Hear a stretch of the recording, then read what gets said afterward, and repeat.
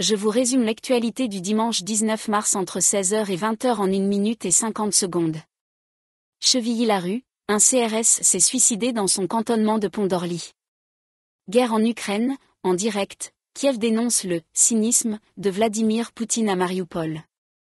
Le président russe a rejoint de nuit, en hélicoptère, la ville du sud-est de l'Ukraine depuis la Crimée. Sa visite a été dénoncée par le conseil municipal qui a qualifié Vladimir Poutine de criminel international, en référence au mandat d'arrêt délivré par la Cour pénale internationale contre lui. Grève, un trafic perturbé à la SNCF ce lundi.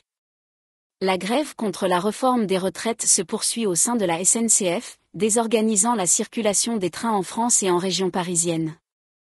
Limay, il percute un jeune à trottinette, le traîne sur 500 mètres et prend la fuite.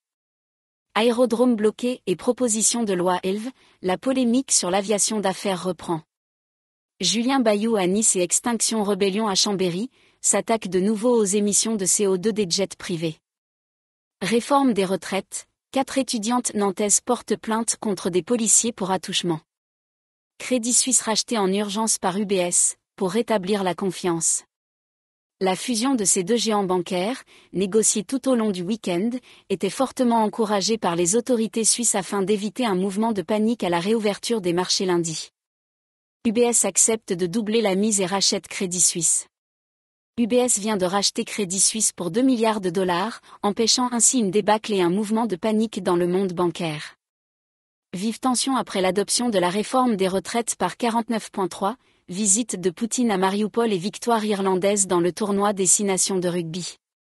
L'actu de ce week-end. L'essentiel de l'actualité de ce week-end. Pour ne rien manquer de l'actualité quotidienne, abonnez-vous à ma chaîne.